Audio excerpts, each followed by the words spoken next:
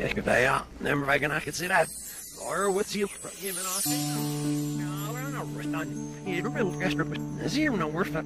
Alright, the bish number I get in fed you feel number I get again, but I say get some of these soft notes. There's no ships so far, perhaps not me. I want to be ill and order. There was a concept, you know, concept and sell and show when the next evolves. They got solves happening. What was it? There's no ships, it was a sharp. I heroin gets it. Recht van mij, recht van hem, jongen, hij heel veel. Zoals nee, hoe heb ze het zo nee, dat ik ja, heb ik zei ook niet.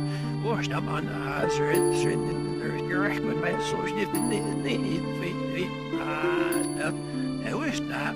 Maar oh, daar is de luxe en juist, zo kan hij luxe doen niet. Zo van er dat wie met de recht is nou zo.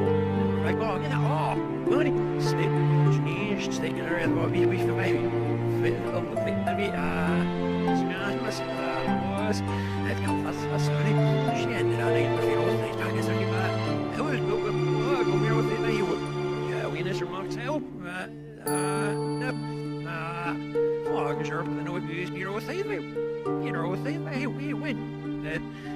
yeah yeah yeah yeah I don't know I remember aircraft was that's when I was yeah yeah uh was here remember I guess your fear name no gun sound shit last it's not with any Daarom zei de nikker naast het na is nu neem ik het na.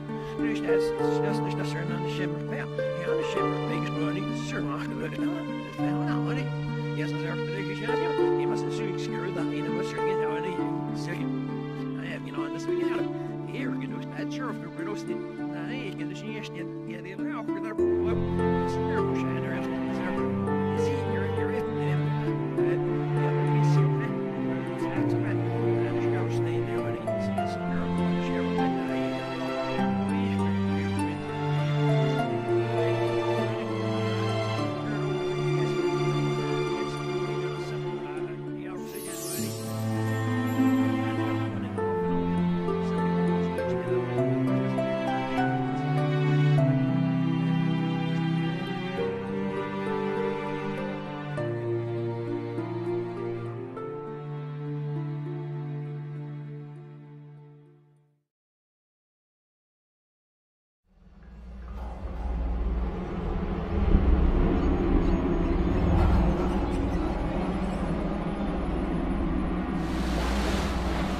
Upon what criterion could citizens agree that it was necessary to go to war?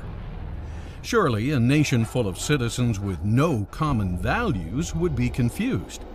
They may be totally free, but their confusion will make them short lived, if not barbaric. And many civilizations prior to the United States were barbaric.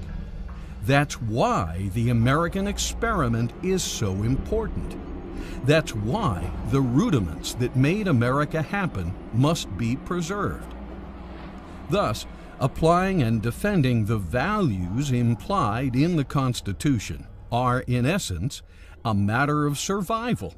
For if these factors are dropped out, you get a cruel, chaotic, and revengeful society. Such a society will eventually occupy its time with pleasure seeking hedonism, material acquisition, and violence oriented pastimes. Hey, welcome to today's United States. No surprise, the baby boomers are in charge now.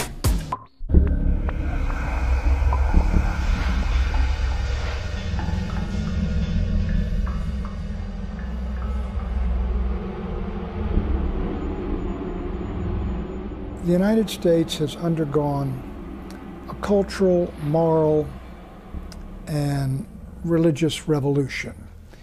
And a militant secularism has arisen in this country. It's always had a hold on the intellectual and academic elites.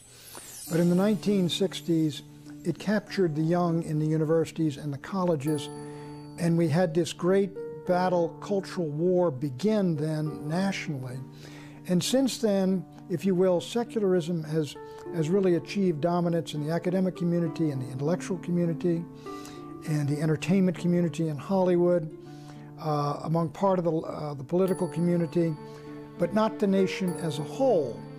However, it is much stronger than it was, and so this is the basis of the great cultural war we're undergoing uh, right now. And this militant, it is an anti-Christian, anti-God, anti-traditionalist revolution. It's partly uh, the sexual revolution has a lot to do with it and how people live. And so we are two countries now. We are two countries morally and socially and culturally and theologically. And cultural wars do not lend themselves to peaceful coexistence. One side prevails or the other prevails. And the truth is that while the conservatives, in my judgment, we won the Cold War with political and economic communism, we've lost the cultural war with cultural Marxism, which I think has prevailed pretty much in the United States, or is now the dominant culture, whereas those of us who are traditionalists, we are, if you will, the counterculture. What exactly is cultural Marxism, the dominant culture of today? How did the founders of communism figure out a way to take over our country, not with guns and weapons, but with values and ideas? Let's take a closer look at this and see exactly how it happened. There was a man named Karl Marx. Marx got an idea. His idea was that the workers of the world should unite and rise up to counter an evil foe that foe being capitalism. Capitalism, the idea that people and private companies should be able to own the means of production and be free to earn and have as much as they wished, was anathema to Marx. Marx felt the state should own the means of production, as well as products produced, and then the state should distribute a fair share of all such products to each and every worker. Thus, in his book, The Communist Manifesto, Karl Marx thundered, Workers of the world, unite! Sure that he had a principle to unify all workers in every country, Marx looked forward to eventually taking over the world. Karl Marx believed that you would have uh, a rebellion by the workers uh, against uh, the capitalist system, which would then create uh, a Marxist uh, communist society where you would have dictatorship of the proletariat. Unfortunately, when World War I broke out, the workers of the world did not unite. In fact, the workers united with their respective countries and fought each other. What happened was the Marxists had an enormous disillusionment when the French and the Germans and the British workers all rose up for the fatherland and went to war happily, fighting one another. Marx's idea was a total failure. Workers were more loyal to their respective countries, churches, and cultural values than they were to their counterparts in other countries. They did not want to give up their houses, their cars, their stoves, their products. They did not want to have a classless society. Uh, they did not uh, vote and they didn't even have an overthrow. Some years after Marx failed, several of his disciples got a new idea on how to take over the world.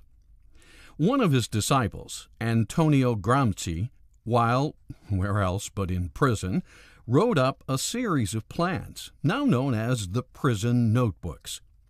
In this plan, Gramsci announced the workers of the world will unite only after the Long March is over. The Long March? In other words, they had to get into the culture and change the way of people's thinking. And if people were thinking about patriotism and nation and God and country, that was a mechanism which was too resistant to Marxism. It could never take hold. So you had to erode and destroy that in the individuals.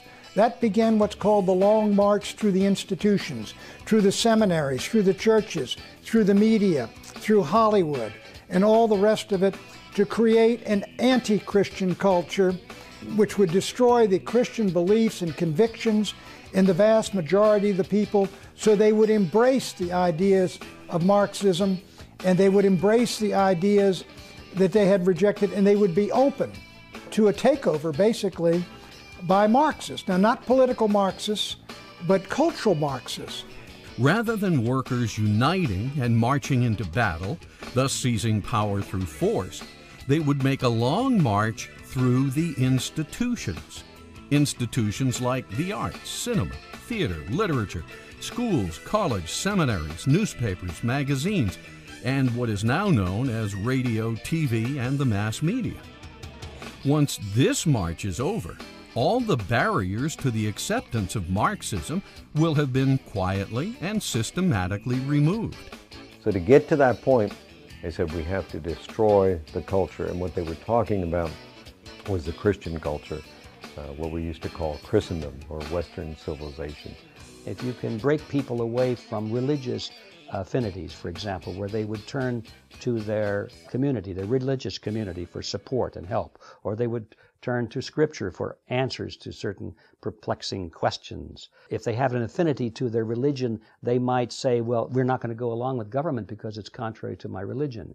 So, cultural Marxism would attack religion of all kinds. Doesn't make any difference because there was another place where people could go other than to the government for support uh, and for answers. We, the people, will have thus been indoctrinated or brainwashed into seeing the wisdom of Marxism and the folly of capitalism. Thus, the door to socialism and communism will be open, and the door to a constitutional republic closed. Because the success of cultural Marxism means the demise of the U.S. Constitution. Constitution is a set of principles. It's based ultimately on a moral code because you go back to the Declaration of Independence. What was the basis for the Declaration of Independence? The law of nature and of nature's God, right? The ultimate moral code. Uh, but if you don't follow those principles, if you try, as the expression goes, shave a point off here and there uh, to make a buck or to be reelected or if you're a special interest group to get some kind of a government subsidy, then the consequences are going to be in the long run deleterious to society as a whole. And there's the difficulty. There are too many people that are thinking in the short term and not applying these principles which are designed to give us a long-term stability to this system.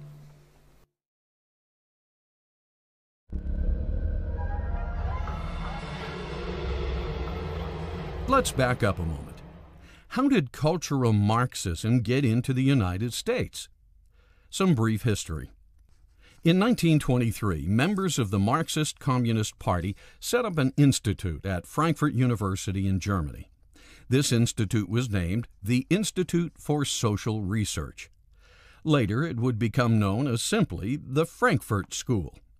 These new Marxists, under the direction of Max Horkheimer, had seen the old Lenin Marxists fail.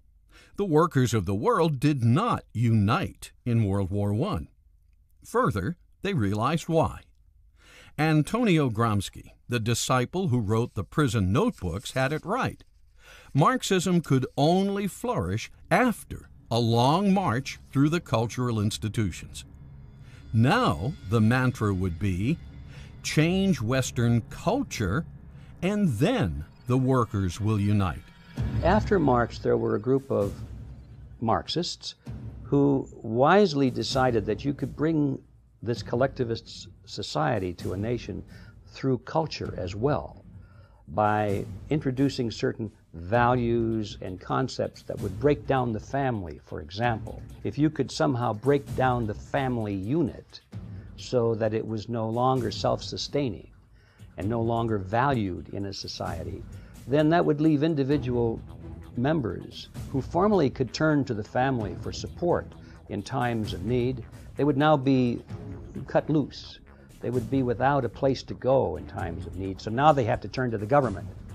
But just as the march through the institutions was about to begin, an anti Marxist, anti Semitic Adolf Hitler ascended to power and World War II began.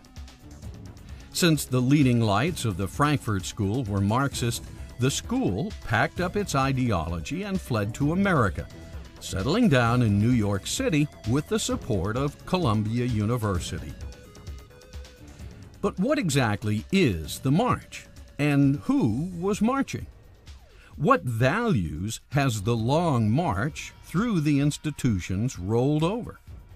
Let's hear it from some of the Frankfurt School graduates themselves like George Lukács, Antonio Gramsci, Charles Reich, Herbert Marcuse, Theodor Adorno, Erich Fromm, Wilhelm Reich, and Max Horkheimer.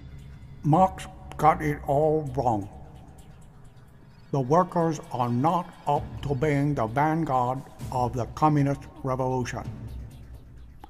Let's translate Marxism into cultural terms. And Herbert Marcuse. The West is guilty of genocidal crimes against every civilization and culture it has encountered.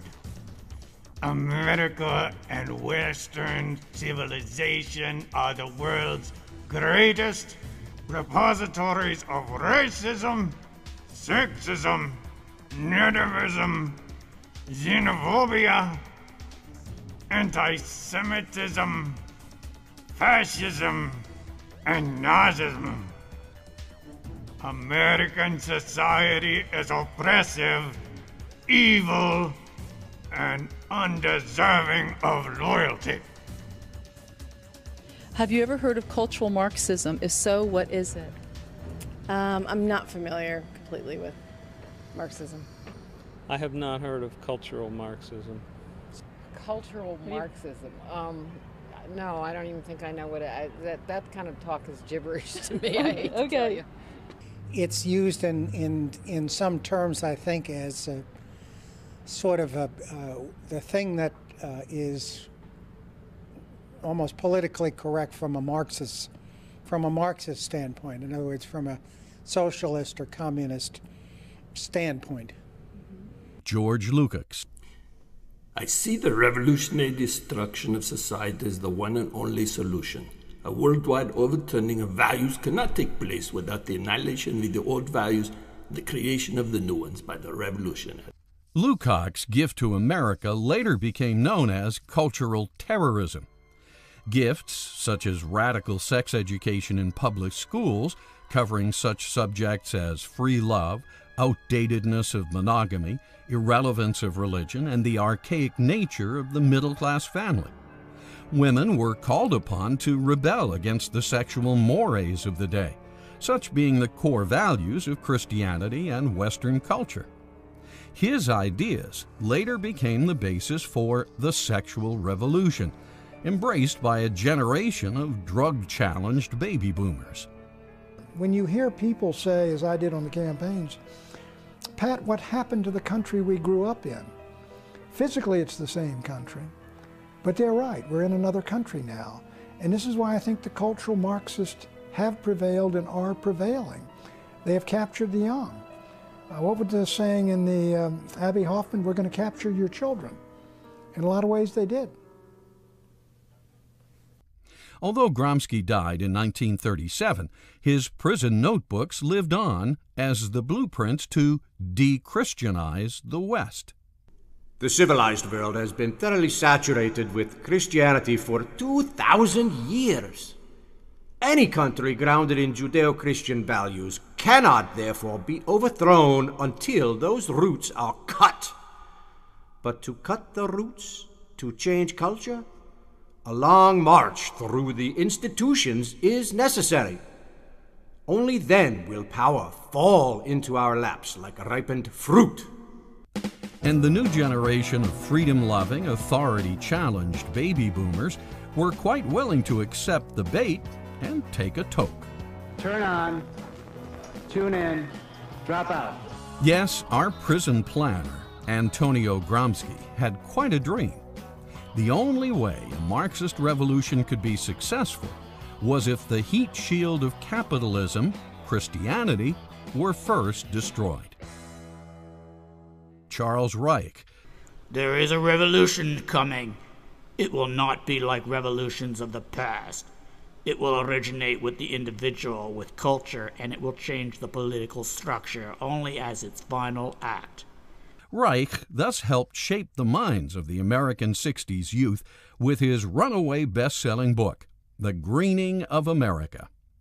Gramsci and Marx were now reaching their target audience, and the long march was in progress.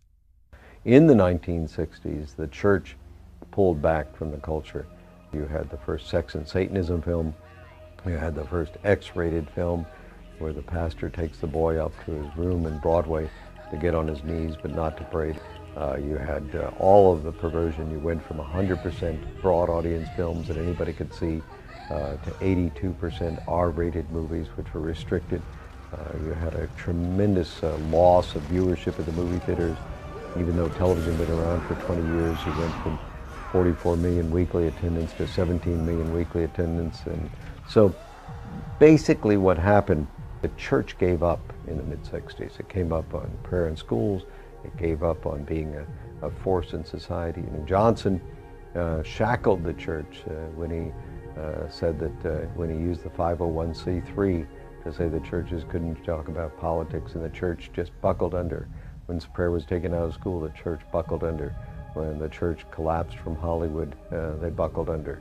So it was the church's internal collapse, and that has happened before in history. And unless people get revival, reformation, renewal, we will never reclaim the culture.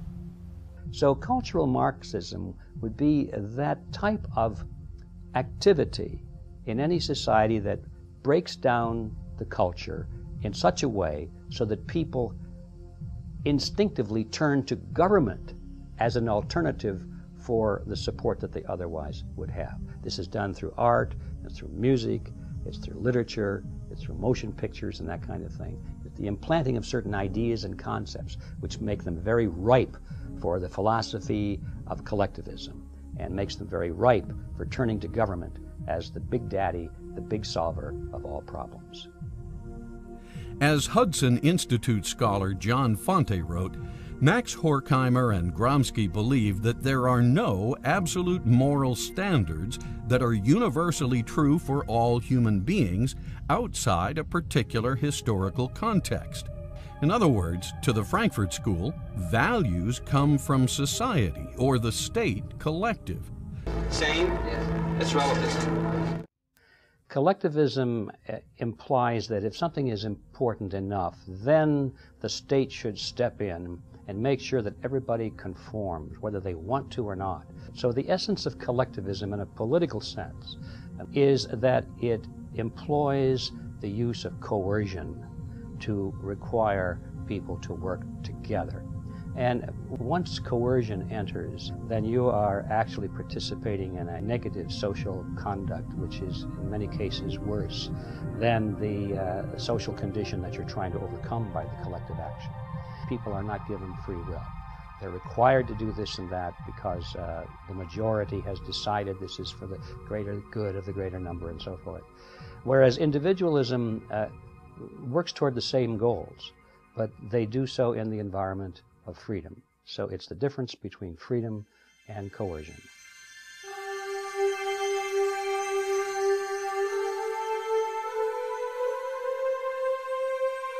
Not to be outdone by Karl Marx, a brilliant mind or two at the Frankfurt School soon came up with several of their own ideas.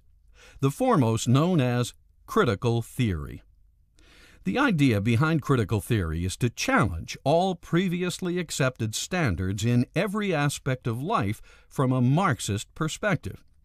Standards such as Abe Lincoln was honest, home is where the heart is, democracy and capitalism are good, the founders believed in freedom.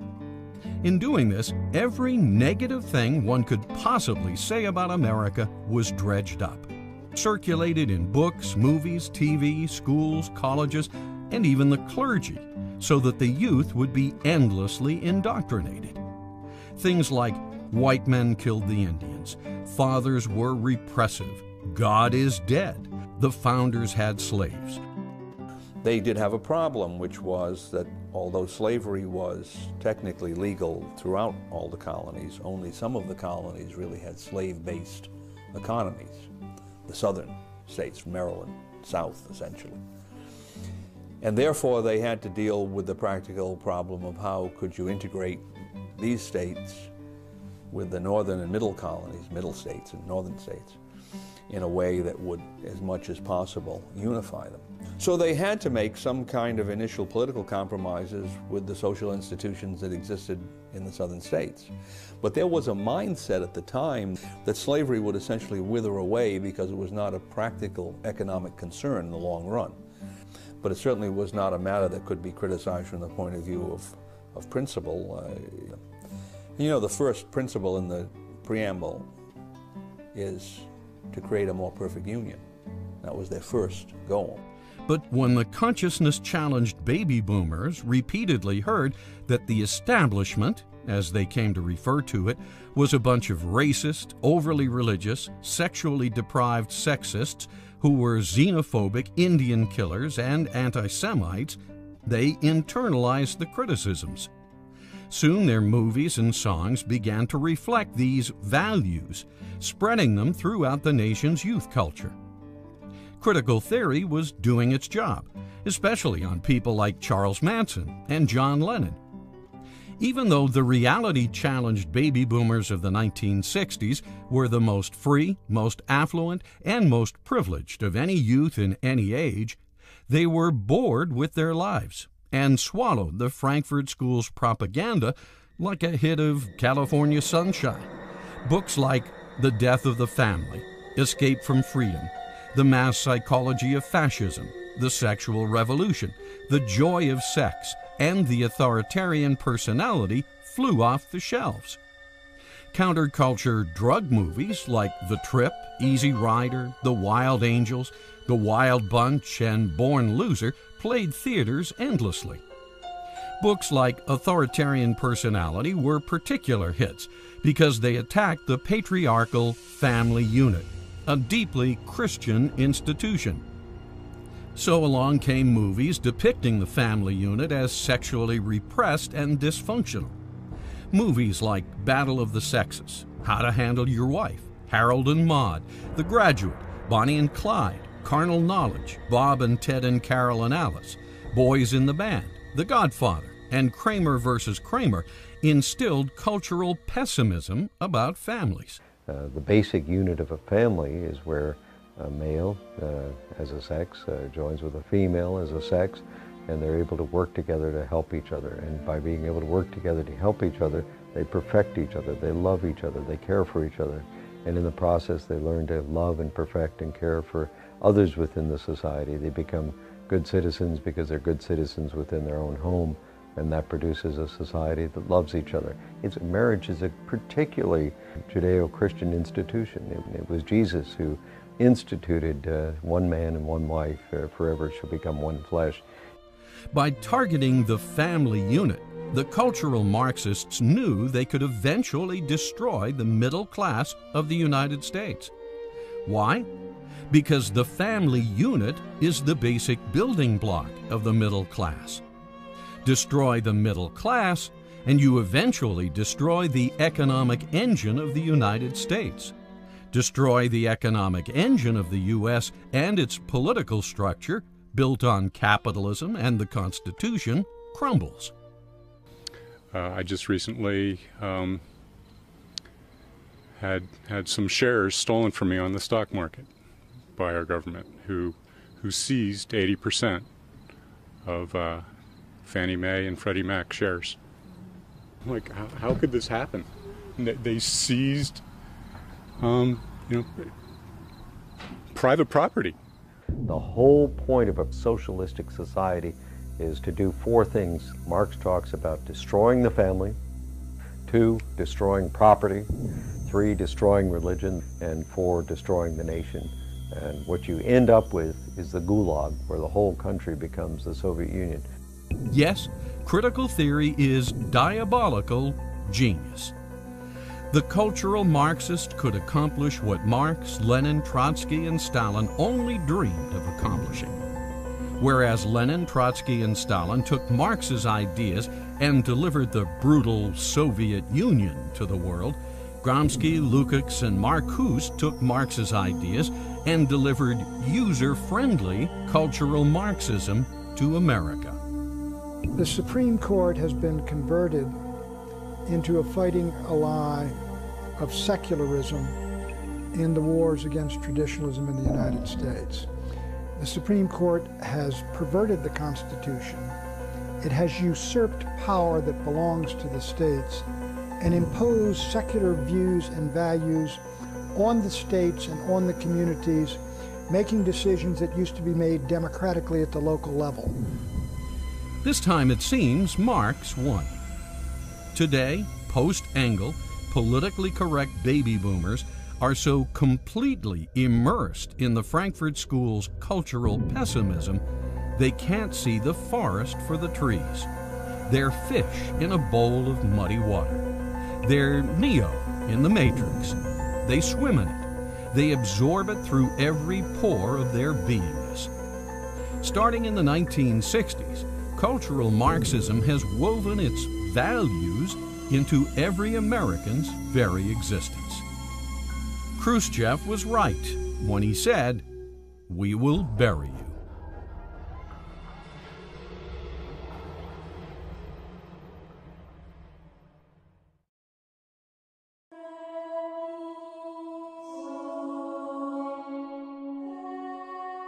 To understand what socialism is, one must first understand what communism is.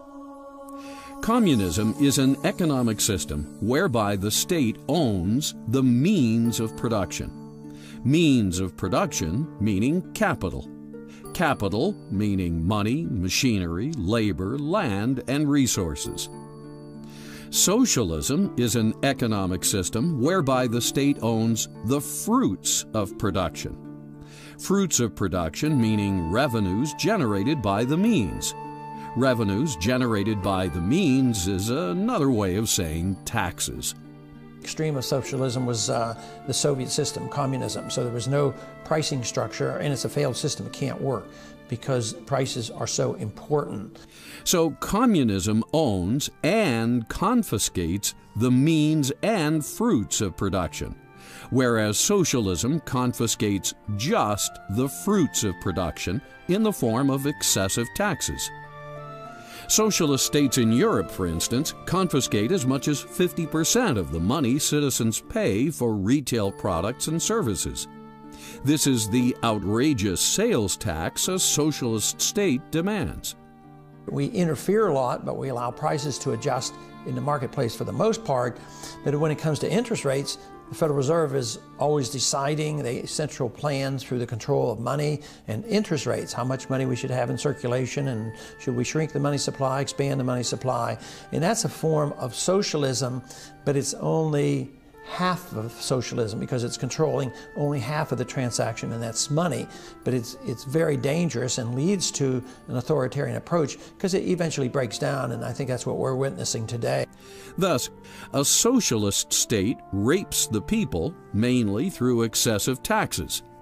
A fascist state rapes the people mainly through excessive debt both ultimately rape the people through taxes because debt causes inflation, a hidden tax. Debt causes inflation because the Federal Reserve System facilitates the conversion of government bonds, government IOUs, into Federal Reserve notes, what we use as a currency. Well, the Federal Reserve, in its very nature, is contrary to a free market. The Federal Reserve is not only regulating, but it's manipulating the marketplace against the will of uh, the people who are conducting the marketplace. When this is done, the money supply is inflated. When the money supply is inflated, it becomes watered down or diluted just like stock, when a corporation authorizes and issues more stock, existing shareholders are diluted. When money is diluted, it has less purchasing power. When it has less purchasing power, prices rise because it takes more Federal Reserve notes to purchase a given product. When prices rise, it has the effect of a tax. Inflation is therefore a hidden tax if the government can create new money that it doesn't have to tax for, and especially if it can put off the ultimate payment of this into the future through the use of long-term bonds that are the back, backing for the fiat currency, then we have a government that is essentially uh, out of control to some degree. It can make decisions that are not immediately going to subject the people to pressure. Unfortunately, the constitutional republic envisioned by the founders is being undermined by cultural Marxism and destroying the republic envisioned by the founders.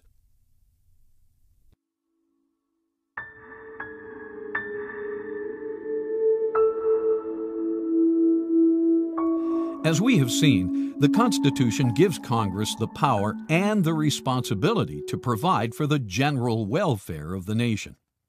So important is the idea of general welfare, this is the only term that is stated twice in the Constitution once in the preamble and again in Article 1. Unfortunately, a lot of people interpret this term to be a green light for massive social security, the so called nanny state, which pays for everything and then demands the right to regulate everything. Well, the Constitution was written to limit the size and scope of government. It was to uh, recognize that government was there to protect our liberties. It does not endorse the welfare system at all. If we just followed the Constitution, the government would be very much smaller, maybe 80% smaller. This may be the cultural Marxist's dream of a socialist state.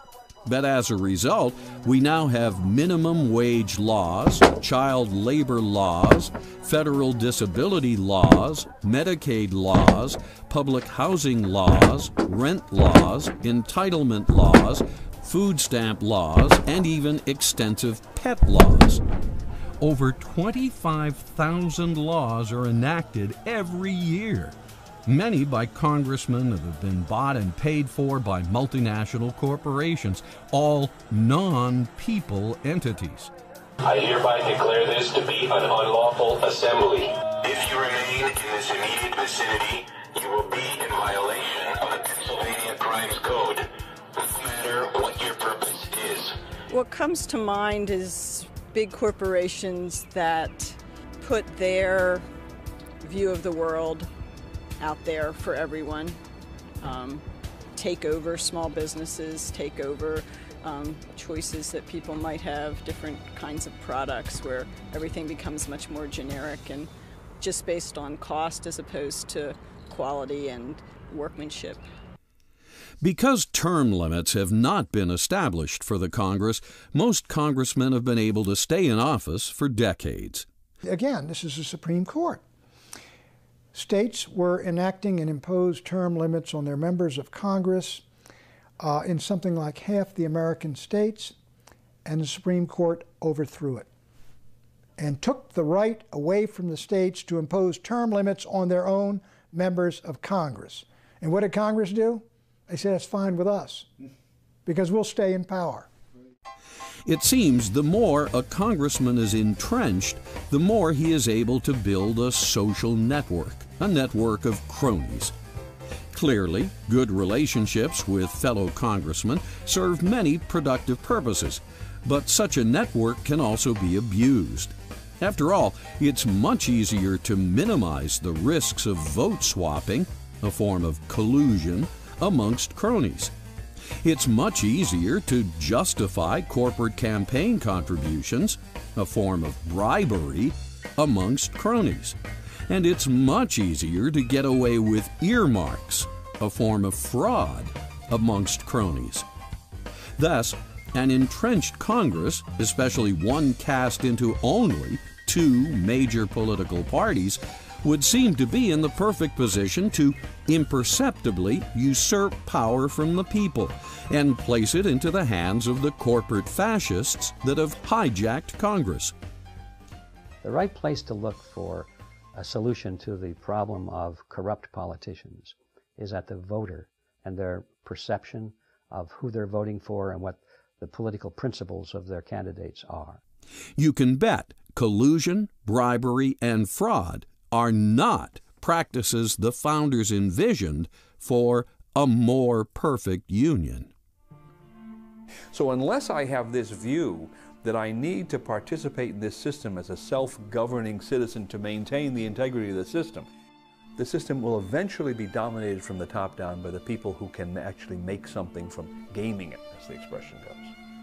So, this is the Founding Fathers' point. It depends upon having a virtuous citizenry that is willing to shoulder the burdens of maintaining a self governmental structure.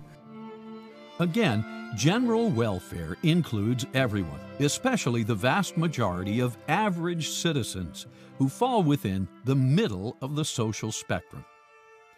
In statistical terms, the average, or mean, is represented at the top, or crest, of what's known as a bell shaped curve.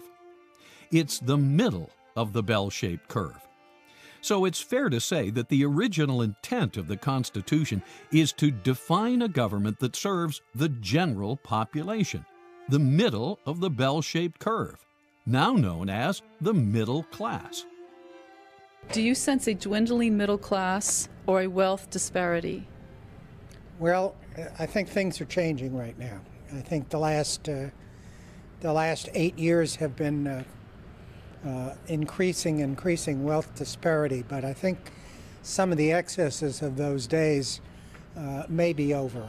The terms spreading the wealth, redistribution, and wealth disparity are meaningless in an America that truly responds to the original intent of the Constitution. The proper function of government is not to provide, but to protect. Because if you're going to provide for some, you must have the authority and the power to take from others. And once you're in that business of taking from some and giving to others, now you're in the business of redividing the wealth. And that gives you tremendous power over, over the citizenry. And it always leads to abuse of power and eventually to totalitarian regimes. Many have commented that we now have a monstrous tax system, a system that taxes its citizens far more than citizens of the Boston Tea Party era. If 2 to 3 percent taxation justified a revolution in 1776, why doesn't 50 percent and growing justify a revolution? If a few little excise taxes on pieces of paper and tea justified open lawlessness from these rebels that we're all celebrating, why don't the myriad of incomprehensible, unavoidable, crushing taxes, state, local, and federal, why don't they justify a revolution today?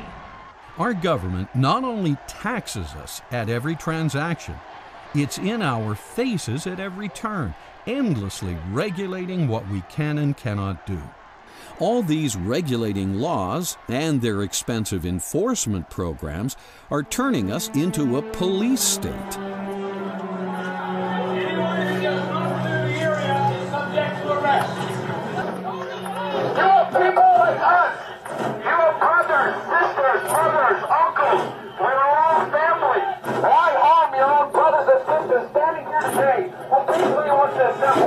Why Why? Harm that sound weapon, on us? We have done nothing wrong. We have not broken any laws. We mean no harm to you. We don't want to hurt you. We don't want to attack you. We want to stand here as Americans because we know our founding fathers died for this very right to stand here. We are the policemen of the world.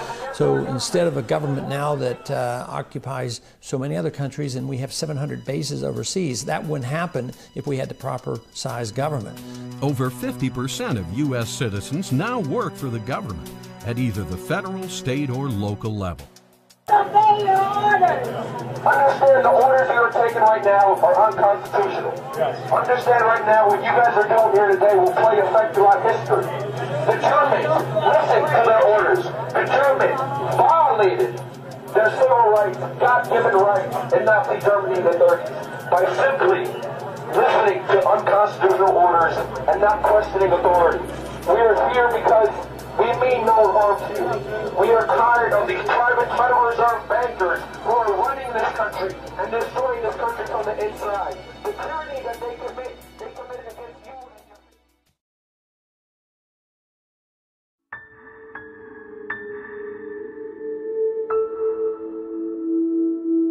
The nefarious genius of cultural Marxist strategy is to destroy the family unit by promoting what's known in the field of botany as androgyny.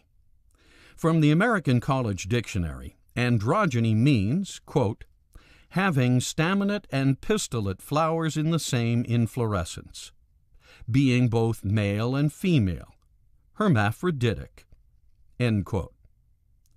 Translated into cultural Marxist strategy, this means making the father and mother of a family the same and or reversing their roles. How is this done? Well, it starts with invalidation. I hate this house and I don't want to be here anymore. As previously discussed, one of the key technologies of the Frankfurt School is critical theory. Recall the purpose of critical theory is to instill cultural pessimism. Thus, by endlessly portraying fathers as dominant, restrictive, depersonalized, and controlling, the cultural Marxist is able to invalidate the male component of the family unit. Concomitant with this, by endlessly portraying mothers as schizophrenic, nagging, anxious, the cultural Marxist is able to invalidate the female component of the family unit. This two punch invalidation, endlessly repeated in the general literature, movies, and media, gives rise to a pessimistic attitude towards the traditional family. After time, this pessimism becomes imbued into the culture. That's why it's said the product of critical theory is cultural pessimism. The message of cultural pessimism 1. Families are boring, stifling, and intrusive. 2. Mothers and fathers suck. 3. Divorce is therefore understandable and justified. With divorce made understandable and justified, even laughingly made easy by calling it no fault, one out of two nuclear families now disintegrate into chaos. Most contracts, the court system tries to sustain the contract. If you and I are doing business together and uh, they're trying to protect that contract because the contract was entered into in good faith for good principles. However, although the marriage might have been entered into in good faith, by breaking that, they can put a lot of people to work. Not only the uh, the marital courts can go to work. Are also the social workers that go to work. There's also a whole team of people, including the IRS, who prey off of them. And one court in Massachusetts says we're going to bring this father to his knees and take all of his money from him. So there's a whole movement by the courts to make money off the dissolution of marriage. After the mother and the father are finally done arguing or negotiating over custody of the children and possession of the assets, two new family homes are usually established. He lives here and she lives there. Each new household economy now has to have a redundant, otherwise superfluous set of rent or mortgage payments, energy and utility demands, and household furnishings and accoutrements. Extensive and complex scheduling of child visitation then must be established. If the divorce was acrimonious and or the children were traumatized by it, and most are, both parents vie for the children's attention and visitation. As they do this, knowingly or unknowingly, they spoil the children with unending material gifts, junk food, sugar, unearned validation, and parental supervision so lenient it borders on gross negligence. Divorce is uh, dreadful for children. And now you have uh, some families, probably the weakest and the, and the poorest, mostly black families, that are now over uh, 50 and even 60% in divorce, which is critical uh, for the children. But worst of all, children are usually shipped off to daycare centers and or public schools, where they are then handled like animals in captivity. Now we're talking about a, a, a school system that's teaching values that's determined not by the, by the parents, not even by the teachers, but by the political uh, groups that provide the funding the politicians, the bureaucrats, the, the uh, think tanks, all the these invisible uh, structures above. Now, those are the people who are determining the values that are being taught in our schools. The profligate cultural Marxist society that causes and tolerates this then imposes pharmaceutical drugs on these children. Certainly, the arts have always had a tendency uh, to promote license instead of liberty. The difference between license means that I can do anything, if it's, even if it's destructive uh, of other people and, and of myself. I can take drugs until I OD. I can uh, hurt other people uh, and hurt their children and families. Uh, license is something that is selfishness rules. With liberty, what rules is the freedom to be responsible, the freedom to live a decent life, the freedom to love others, the freedom to give. It's like the difference between love and lust. And unfortunately, often the principle of love is replaced in the media with the principle of lust. And the lust principle produces media that's constantly uh, pushing the envelope. Almost every movie that Hollywood puts out today must depict characters with at least one of the following attributes. 1. The protagonist and or the antagonist are divorced. 2. The female is portrayed as dominant, controlling, violent, and or one-up on men. 3. The male is portrayed as aloof, feminine, overly sensitive, and or cheating. 4. Somewhere in the family, at least one of its immediate members must be a lesbian, gay, bisexual, or a women's liber. Often, attributes are mixed in various proportions, and even mixed with a touch of schizophrenia, as males and females swap roles inflorescence. Same-sex marriage does not give you the balance of having a mother and a father so that you can learn different skills from them and you learn different personality types from them. By abolishing that, children are adrift. Through endless repetition and media dissemination, androgynous elements are institutionalized as legitimate and eventually normal. Cultural pessimism has been taken to a whole new level. Complete tolerance for dysfunctional social structures and inefficient economic units. Proof that Christian values do not work. Schools should be completely operated uh, by parents.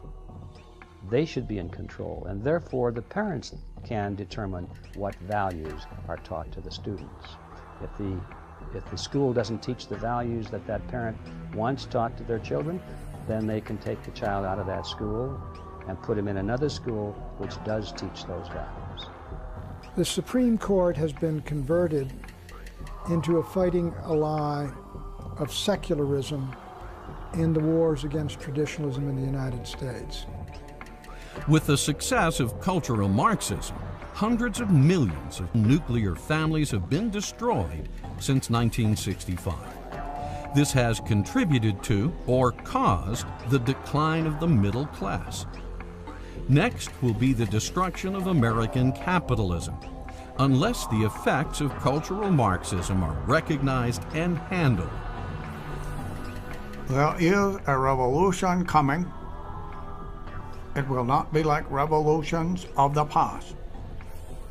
It will originate with the individual and with culture, and it will change the political structure only as its final act.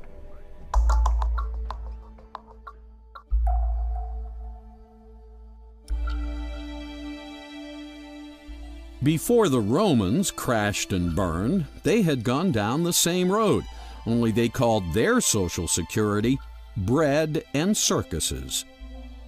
Bread and circuses will eventually crash the U.S. empire as well, if we interpret the term general welfare in the Constitution as an invitation for social security.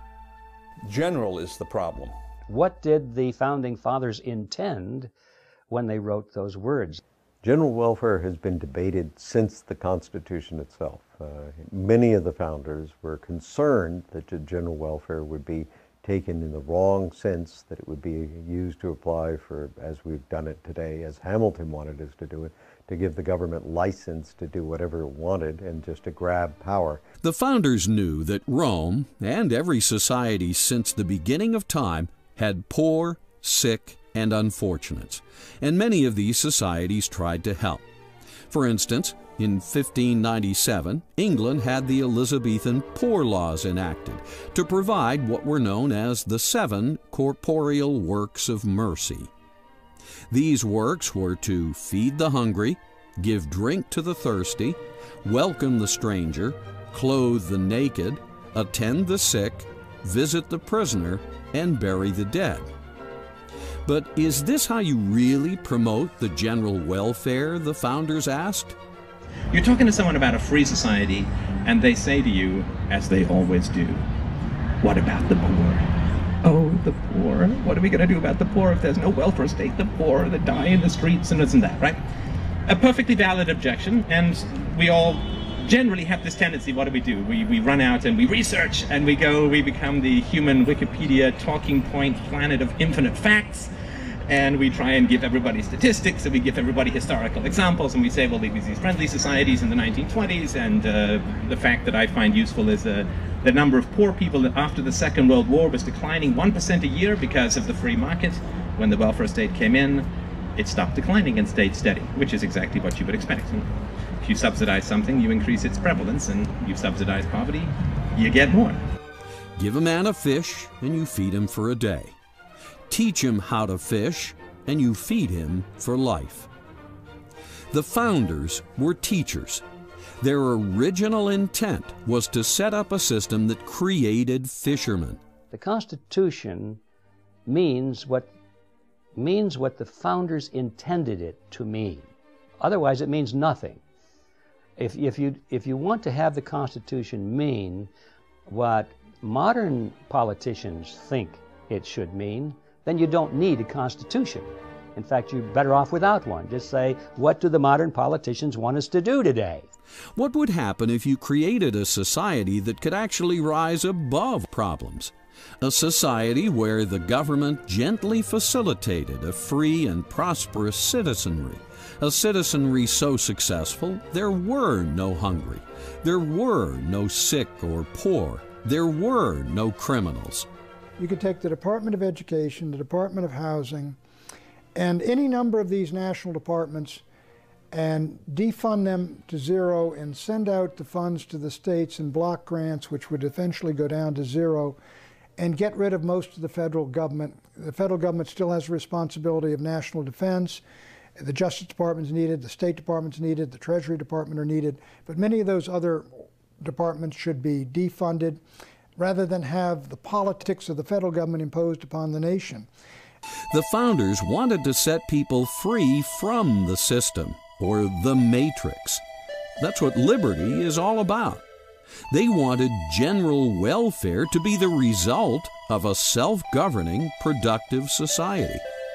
They wanted general welfare, not welfare in general.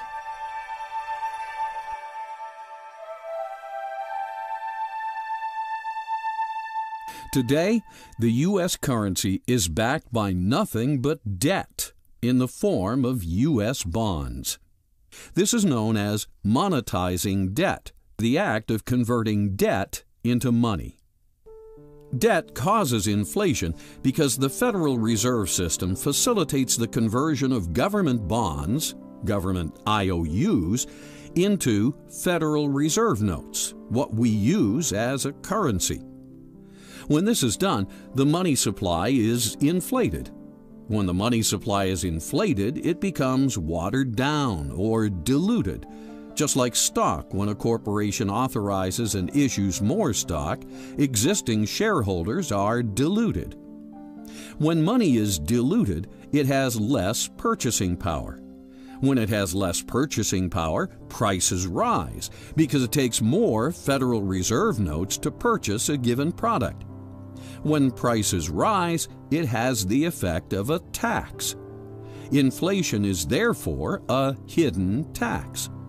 If you can delay the payment and hide the payment, that is, borrow money or print money, uh, those who really pay the price are hard to find. They're usually the poor people in the middle class. So it's, it's a very uh, specific plan to have a central bank to destroy money. It's been done for thousands of years. They used to dilute the metals or clip the coins, or uh, even in the old days, they tried printing money. Today, we do it with a computer. Thus, cultural Marxism uses debt, which generates the hidden tax of inflation, and endless taxes to fund its socialist operations and expansion.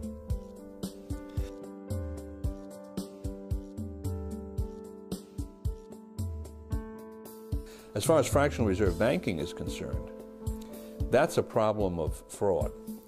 That is, fractional reserve banking is where the bank generates more paper currency than it has, say, gold and silver reserves on a, on a species standard. And it can really generate as much paper currency as the market is willing to bear, as long as the market has some credence that the bank will pay. And what tends to happen is that the banks overexpand. Uh, they play too many of those cards, and at a certain stage, the market says, no, there's too much money out here in terms of real resources, and you get what's called a bank run. People come back to the banks and will make good on these promises. The banks can't do it. You have recession, depression, what have you, the whole credit structure drops. Now, if that kind of a system were fully disclosed and everyone knew how it was working, my anticipation is that there would be very few fractional reserve banks. The framers of the Constitution were quite aware of the liabilities of bills of credit and fractional reserve banking. And this is why Article 1 states no state shall make anything but gold and silver a tender in the payment of debts. And, quote, no state shall emit bills of credit. The Federal Reserve System should be abolished. It was not authorized in the Constitution, therefore we shouldn't have it. But I take a sort of a moderate approach to doing it because there's a lot of people who depend on the system today, and I wouldn't close it down in one day, but I would legalize competition, allow gold and silver to circulate as money, take taxes off gold and silver so you didn't have to pay sales taxes or capital gains taxes, and let the people transition over to gold and silver. Because 1976, we weren't even allowed to own gold. And then later on, we got the American Gold Eagle. So we're, we're moving in that direction. Uh, but we need to go a little bit further to legalize uh, contracts in gold. The real culprit is the ability of the Fed to monetize debt. Members of Congress spend money for war and welfare. They can't borrow enough and they can't tax enough, so they literally create treasury bills out of thin air, and then the Federal Reserve creates money out of thin air and buys the treasury bills, and that has to eventually destroy the value of the dollar. If we were to abolish the Federal Reserve System tomorrow and get the banks out of it completely, turn the entire function as it now operates over to the Treasury, nothing would change. The same people would still dominate the system from behind the scenes. So this question of ownership receives too much attention because where that idea goes is that, well, if we can just find out who owns these banks, and if we don't like who they are, then we can uh, support a move to abolish the Federal Reserve and turn that system over to the Treasury, exactly as it's now operating. So the focus should not be on who owns the banks, but on what the banks are doing.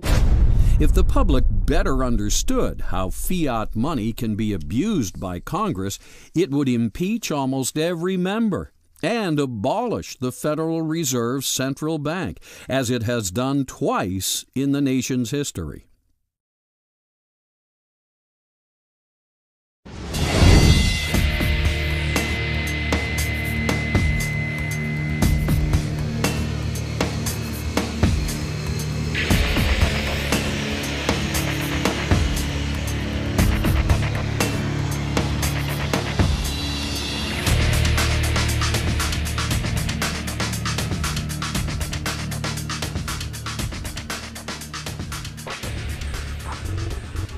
Like the Federal Reserve System, the Congress has been further distorting the letter of its constitutional responsibilities by delegating its power to declare war to another entity, in this case, the President. One of the great problems the country faces is the cowardice of the Congress of the United States as an institution. It has allowed the President to usurp the war making power where does Congress get authority to delegate the responsibility to declare war to the President? It's not in the Constitution. This delegation sounds more like an evasion of responsibility for political expediency than the original intent of the founders. It has resigned its authority. It is frightened of exercising its authority. It does not want responsibility. It does not want accountability. Article 1, Section 8 clearly states Congress shall have power to declare war, to raise and support armies, to provide and maintain a navy, to provide for calling forth the militia. People such as George Washington, Nathanael Greene, uh, the leaders of the uh, of the Army didn't think much of the militia. Uh, the militia came for 30, 60, 90, 180 days, and then when their enlistment time ran out, they went home. They didn't have to stay. They came with uh, sort of an oddment of firearms. Uh, typically, they were firearms that didn't entirely fit the Army pattern. They had different calibers, logistics problems arose. The men weren't clearly not as well trained as the regular soldiers. Uh, they had a tendency to break uh, when the British uh, charged them with bayonets, for instance. So uh, people like Washington, who was obviously very influential at the time, uh, didn't have particularly good word to say about the militia. So one would have thought when the Constitution was drafted, the Founding Fathers would have left the militia out. We don't need this. Hadn't proven to be that effective. Or they might have said, well, Congress or the states can set up a militia if they want to, but it's discretionary. Depends on circumstances. They did the exact opposite. They recognized the existence of what they called the militia of the several states at the time. It's constitutionally recognized. And then the Second Amendment comes along and says it's necessary to the security of a free state. So I would say the Constitution makes it absolutely clear that those entities, because there's not one entity, that should be one in every, every one of the states, is a key structural element of the Constitution. And why? Well, it's because ultimately, who's the militia? It's the people. With every shooting on a college campus, the cultural Marxist indoctrinating mainstream media never mentions the true source of the problem the disintegration of the family unit. Instead, the media pushes the socialist agenda of removing citizens' Second Amendment rights. Let's go to the Second Amendment, which says a well regulated militia being necessary to the security of a free state. The right of the people to keep and bear arms shall not be infringed. Just take the first clause. A well regulated militia being necessary to the security of a free state. Stop right there. That's the only place in the Constitution where the Constitution says that anything is necessary for any reason. The Constitution doesn't say Congress is necessary, the President is necessary, the Supreme Court is necessary. It doesn't even say the states are necessary. It says a well-regulated militia is necessary to what? To the security. Well, not just any kind of security, but the security of a free state. And that's the sole purpose of the Constitution in toto. The way that the United States was set up originally was that the defense of the nation was to be primarily the responsibility of the states. They were to create militia drawn upon able bodied American citizens within the state. They were to provide their weapons and their training and their leaders. They were to form into a, into a national fighting force, and they would defend the borders of the United States against uh, foreign enemies. But the primary foundation, the element of that, was the militia never stated in movies like Bowling for Columbine, movies funded by cultural Marxist infiltrated Hollywood studios, is the original intent of the founders that all citizens retain the right to keep and bear arms. More accurately, the obligation to keep and bear arms as part of the militia. The Michigan militia wanted everyone to know that they were nothing like McVeigh and Nichols. This is an American tradition. It's an American responsibility to be armed. I'm sure you guys are the kind of people that people would like to have as their neighbor. As the Constitution tells us, a well-regulated militia is necessary to the security of a free state. Now, some people may disagree with that, and my response is, well, that's a personal opinion. The law is otherwise. The law tells us that this is the principle on which we're supposed to be operating. You don't like that, amend it. If it's there, enforce it. If you don't enforce it, there will be some consequence because the Constitution is, uh, how should I put this? It's an integrated document in the sense that all of the parts were designed to function with all of the others simultaneously. And if you look at it, there are several pillars to it. There's, of course, the federal government, the Congress, President, and the Supreme Court, they're the states, they're the people as electors, and then there's this group of entities called the militia. And read the Constitution through and you'll see they're essentially all on an equal plane. They all fit into this structure. Well, if an architect designs a building with five support columns, it's probably because he believes every one of those is necessary. You knock one of those out or you allow it to decay, and you can pretty much expect that that building is not going to be stable over the long term. Certain kinds of shocks affect it, it's going to come down. Same thing with a governmental structure. Governmental structure was designed in such a way that the people were supposed to play an important role in maintaining political power of military force. Instead, the Frankfurt School's agenda of injecting cultural pessimism into society continues. Robberies, murder, fires, and now escalating school shootings all contribute to the cultural pessimism and the misguided justification of disarming the citizens. But if citizens ever allow cultural Marxists, such as the Michael Moores of the world, to ban ownership of guns, they will make a grave mistake. These guys that created the American Constitution, the American Republic, were looking into the future and they were concerned about our own government becoming uh, despotic. They could see that. They talked about the possibility of that. How do we prevent that from happening was a major issue of discussion. And they said one of the ways is to make sure that we don't give them a standing army. And the other way is to make sure that the local population was armed. because if you've got every man, able bodied man in the country, and women too, armed and knowing how to use a weapon and under training and with their local uh, uh, squad leaders and so forth, their own commanders, uh, there's no government that's in the United States that's going to turn against them. So they were very wise. And today, uh, people laugh at that concept, but uh, now that we're losing our liberties, I, I, think the laughter is dying down pretty rapidly. City of Pittsburgh Chief Police, I hereby declare this to be an unlawful assembly. I order all those assembled to immediately disperse.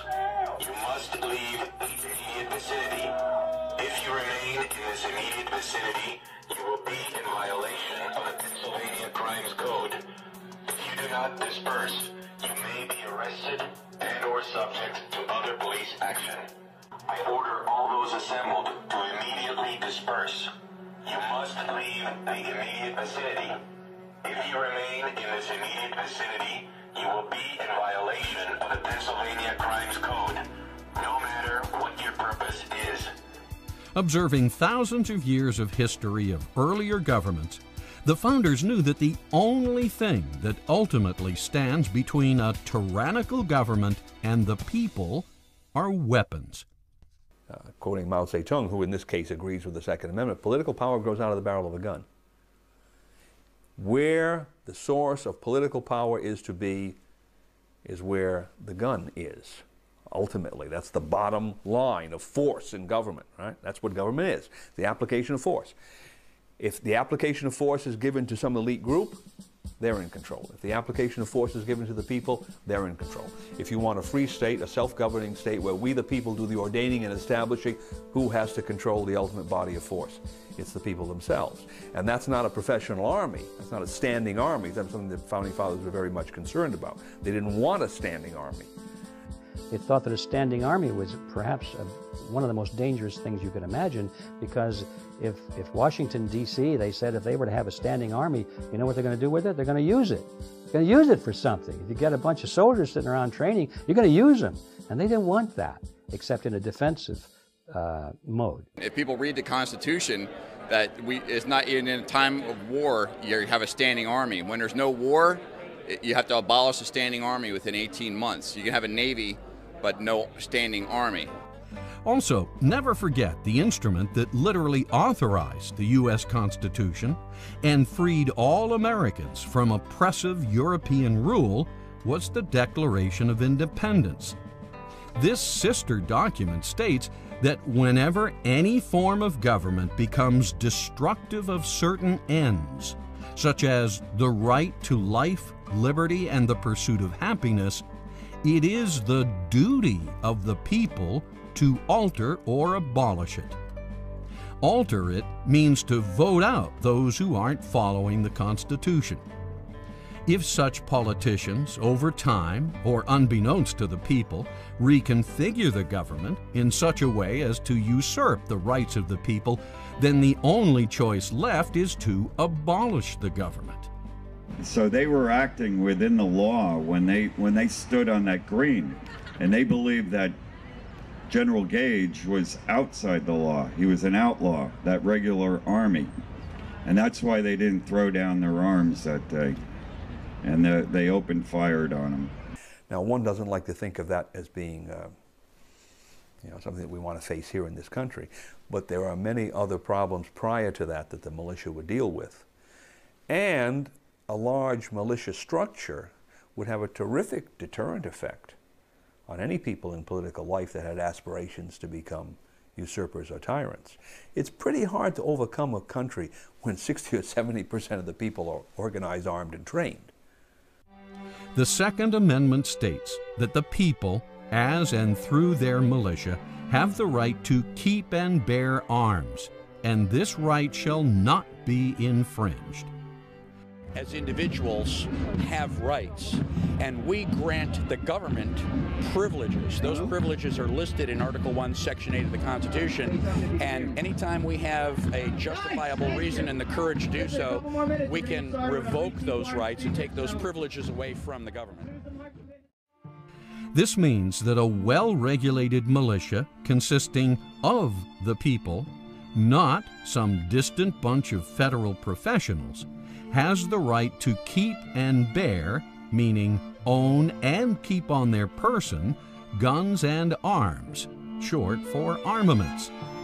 These armaments are for use should the people, through their constitutional militia, find it necessary to abolish a tyrannical and suppressive government and replace it with a serving government that promotes the general welfare and secures the blessings of liberty.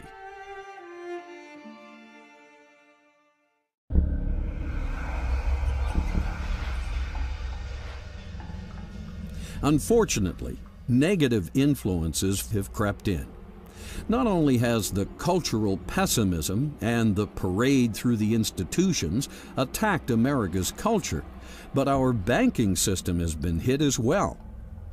The Federal Reserve, set up by banking architect Paul Warburg, is a European style central bank, complete with all the inherent problems of the old world banking principles diametrically opposed by the founders. Alien concepts, such as backing money by debt instead of gold, lending out more money than you have in the vault, printing up money so banks can stimulate the very economy they just crashed. All this so bankers can charge more for interest and snap up real estate assets with straw buyers in recession markets. Thanks to the Fed, Congress can bypass the public's representatives and wage war with money that has been literally created out of thin air. Are any of these American ways? Did the founders set up the Constitution so Antonio Gramsci, a cultural Marxist from the Frankfurt School of Critical Theory, and John Maynard Keynes, an economist indoctrinated in the environment of our former enemy, should stamp their war torn European philosophies into the very soul of our nation? Something isn't right here. In Keynesian economics, they endorse the uh, Federal Reserve System. And to print money out of thin air is, is really fraud because they're stealing from people, stealing the value from some people. So they're completely different. But Keynesianism is not socialism, but it leads to socialism. Socialism is where the government controls supply and demand and prices and the whole work. But Keynesianism allows uh, the market to function to a degree with a lot of intervention, a lot of regulations, a lot of taxes, a lot of planning, and a lot of inflation. How can the original intent of the founders shine through when our entire economic system and cultural institutions have been perverted by ideologies of a world we worked so desperately to get away from?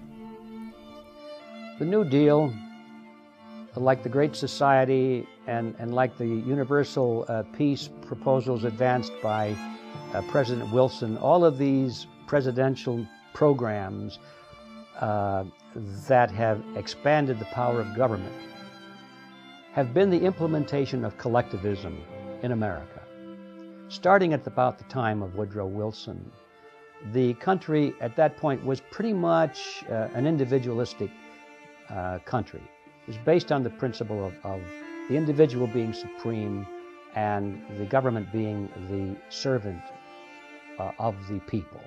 Starting with World War I, starting with Woodrow Wilson, on down through World War II, down through Vietnam War, now to the war on terrorism, all these wars are always used to frighten the American people into accepting the expansion of government, supposedly to protect us against an evil, terrible enemy. The actual expansion came about through the Supreme Court adding some words to the Commerce Clause. They said Congress has the power to regulate commerce or whatever affects commerce. And that's rather a radical departure from the Constitution because imagine if you added that, those words to every other provision of the Constitution. Why shouldn't you? If you can add it to one, you can add it to others. You'd have essentially unlimited government. Well, what that has done is it has given Congress the power to control not only all true commercial activities, but all sorts of things that are entirely local that are related to commercial activity. So, for instance, you had the gun free schools law. Based upon what theory? Well, a gun goes through commerce and eventually ends up in somebody's hands. And there he's within a thousand feet of a school, 100 feet of a school, whatever the distance is. And so Congress can regulate his possession at that point in time. Well, his possession at that point in time is not a commercial transaction by any stretch of the imagination. How can Congress regulate it? Well, because this implement that he's holding in his hand at one time moved through commerce. Well, of course, if you follow that theory out, they can control every aspect of your life. How much cornflakes do you eat in the morning? Well, you eat one bowl. Maybe you should only eat half a bowl of cornflakes. Can there be a statue telling you how many cornflakes to eat in the morning? Sure, because where did those cornflakes come from? Well, they came from Battle Creek, Michigan. The Supreme Court has perverted the Constitution, making decisions that used to be made democratically at the local level. The Congress has the power in the Constitution, Article 3, Section 2, to circumscribe the jurisdiction of the Supreme Court and say, stay out of that area. That is our area, that is the state's area. You are not to get into that. Judges don't decide these issues, people do. After the formation of the Fed and selling the public on the New Deal, it wasn't long before Congress realized it had both the ability and the philosophical justification to print up endless amounts of elastic currency, what we call fiat money.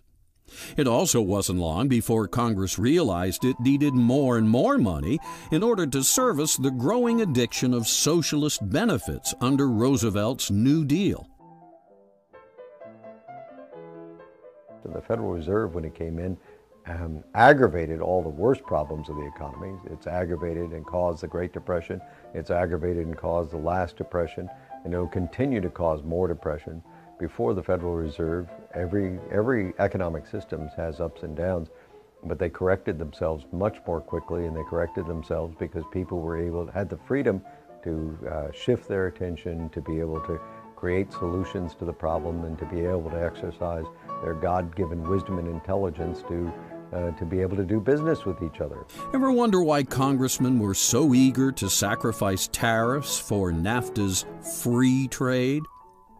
It's because tariffs don't amount to much when Congress can print up all the fiat money it wants through the Federal Reserve System. Yes, monetizing endless fiat money was the answer opinion leader economist John Maynard Keynes suggested to Roosevelt in his 1933 open letter.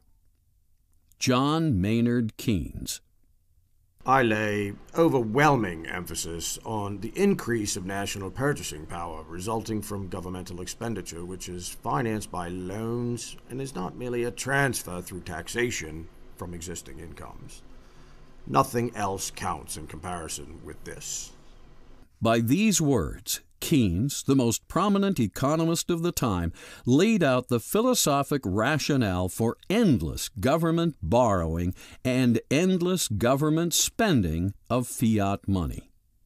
Roosevelt bit.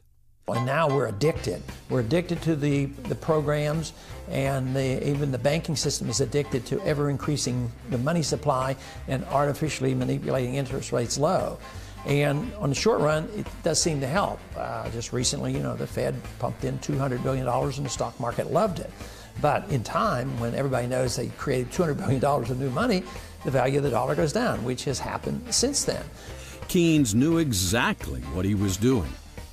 No two men did more to destroy the original intent of the founders and set the groundwork for the cultural Marxism and corporate fascism that was to later flourish as competing totalitarian ideologies, hell bent on destroying a self governing republic that sought to practice true free market capitalism. You can go back to a gold standard, say, of a thousand an ounce.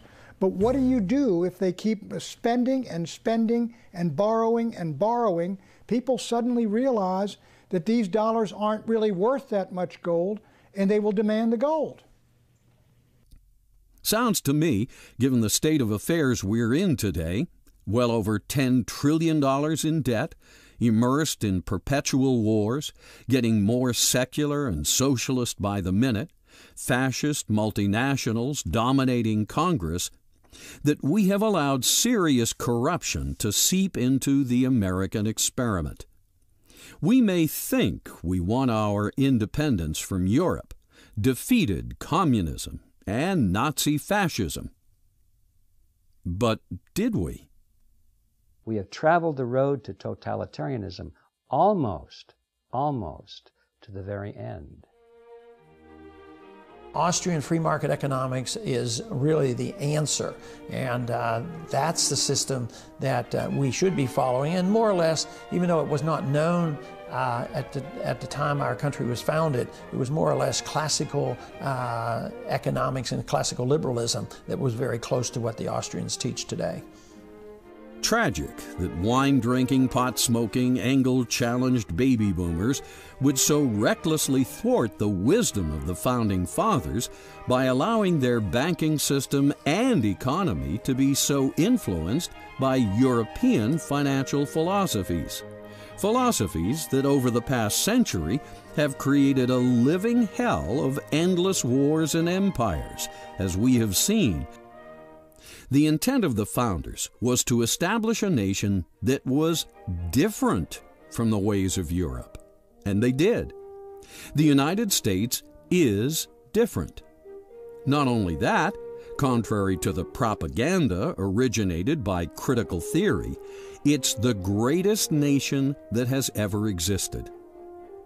America is not a universal nation or a multicultural nation as CFR globalists writing in Foreign Affairs would have reality challenged baby boomers believe. It's a distinct nation, distinct with its own language, laws, history, and cultural background. We are different from the rest of the world. Yes, we even drive on the right side of the road because Europeans drive on the left.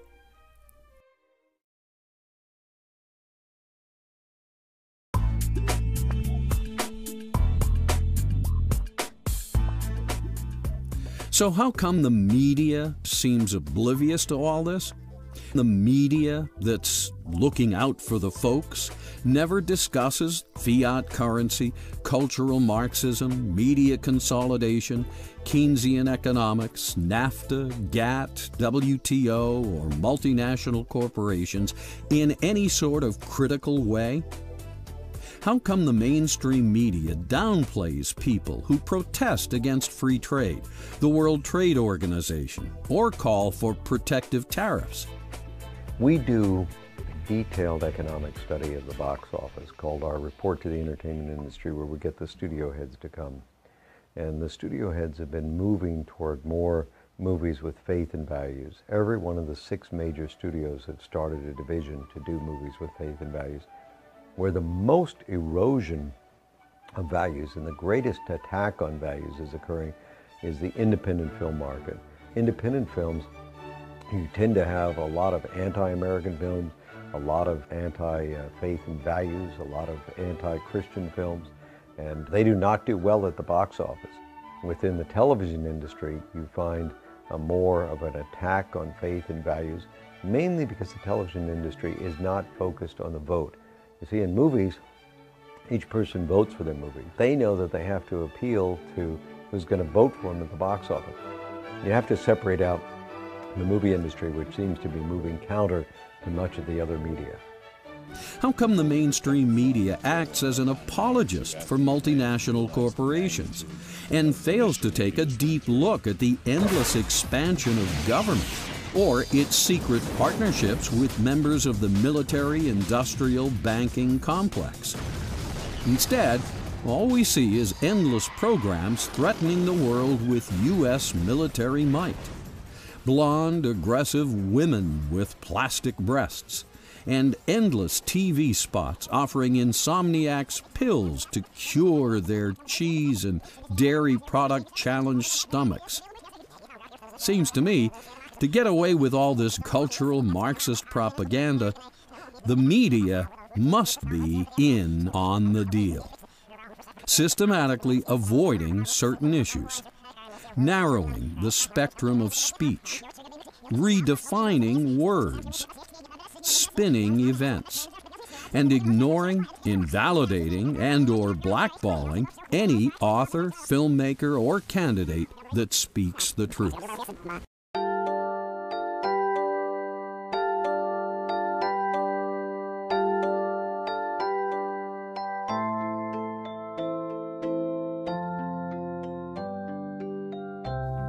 Americans and reality challenged baby boomers need to wake up and smell the Constitution. The famous quote from Franklin was uh, that after he left the Constitutional Convention, he says, it's, We've given you a republic if you can keep it.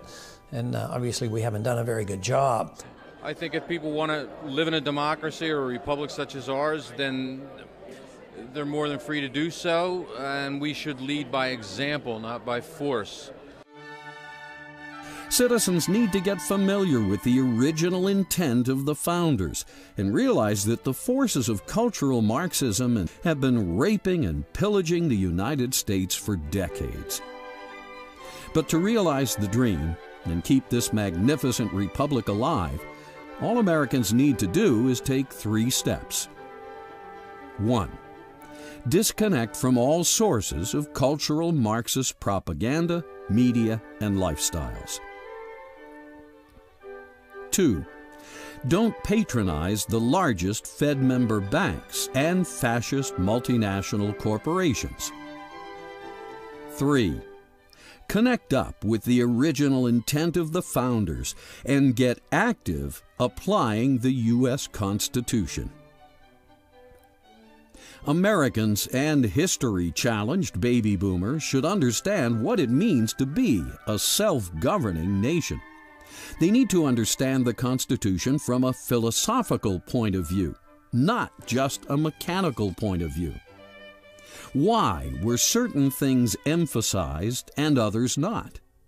Why is a well regulated militia necessary to the security of a free state? Why is the term general welfare the only term that appears twice? What principles lay behind the Constitution and why. If citizens better understood these things, they would be able to go about their lives with a greater appreciation of the rare opportunity they have been given to live in the American experiment. Instead of pessimism, they would have the realization that America has just begun, that the future will be even more incredible than anyone imagined. Take three steps and it will happen. Yes, the cultural Marxists in the media and the universities will scream and dramatize. Yes, there will be a percentage of religious fanatics that attack the United States or hate us because we flourish and prosper. And yes, there will always be secular robots and iconoclasts that hate traditional values and deny America was populated by Christians or influenced by biblical principles. But the founders somehow knew all this, for they had studied thousands of years of history and countless failed civilizations. From these lessons, they built the Constitution of the United States, And this document has succeeded as no other. The blueprint for the longest standing republic in history is in your hands. Eventually, even the cultural Marxists, the corporate fascists, the Islamic terrorists, and our current special interest dominated Congress will see the light and become part of the general welfare. In the meantime, don't give liberty challenged members of society the power to enslave us all just because a relative few have so little faith in the original intent of the founders and the United States Constitution. The Constitution of the United States represents no threat whatsoever to our form of government.